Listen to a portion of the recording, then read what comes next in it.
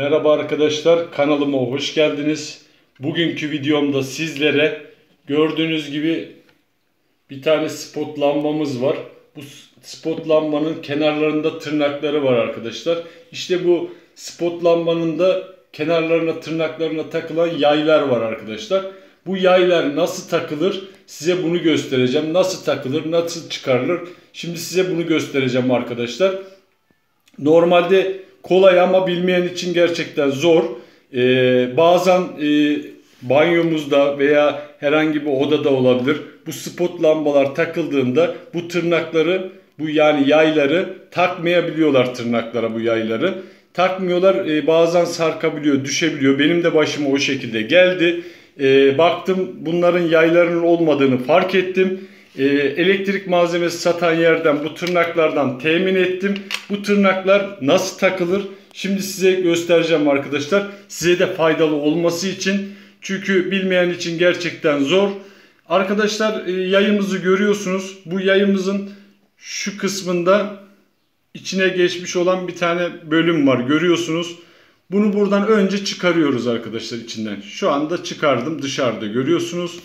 Ee, burada da bir tane yayın uç kısmı var. İşte arkadaşlar burada yayımız e, şu uç kısmın şu arka kısma şu arka kısmı arkadaşlar gelmesi önemli ki yaylandırsın. Yani şu şekil yayımız arkada bu uç kısmı yayın uç kısmı arkada kalması gerekiyor şu şekilde. Bunu nasıl yapacağız? Çok basit arkadaşlar gösteriyorum.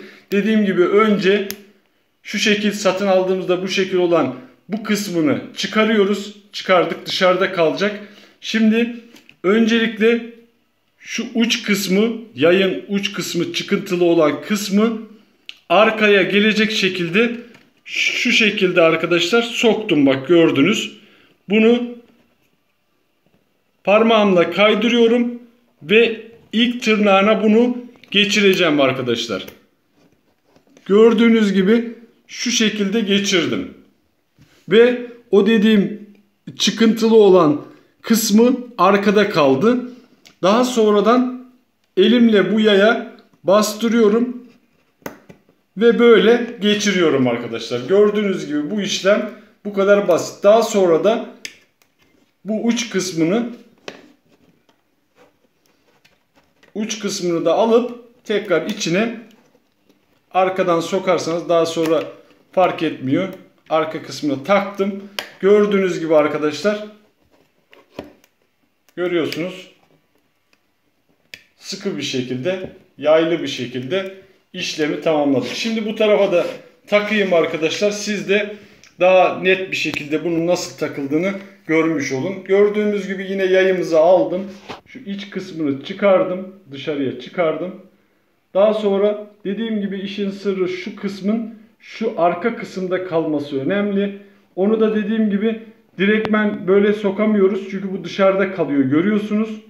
O yüzden arkadaşlar şöyle şu şekilde tutuyoruz. Gördüğünüz gibi şu şekilde tutuyoruz.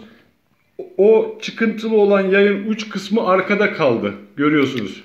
Şöyle yan tutuyoruz arkadaşlar. Bir açıyla tutuyoruz. Ve bunu dediğim gibi Önce bu kısmını takıyoruz. Taktım arkadaşlar şu anda. O görebiliyorsanız kameraman arkadaşımdan da rica edeyim. Şu kısmı da görürsün. Arka kısmını da görsünler. Gördüğünüz gibi arkadaki boşlukta şu anda şöyle arkada görüyorsunuz. Boşlukta duruyor. Tekrar ön tarafa geliyorum. Gördüğünüz gibi bir 45 derecelik açıyla onu arkaya aldım. Parmağımla bastırıyorum ve takıyorum gördüğünüz gibi. Bu kadar basit arkadaşlar bunu takmak.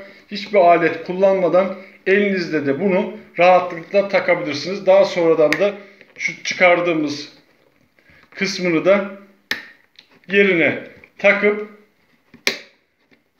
şöyle gayet güzel bir şekilde gördüğünüz gibi yaylarımız takıldı ve şu anda Şöyle gösterelim biraz uzak açıyla.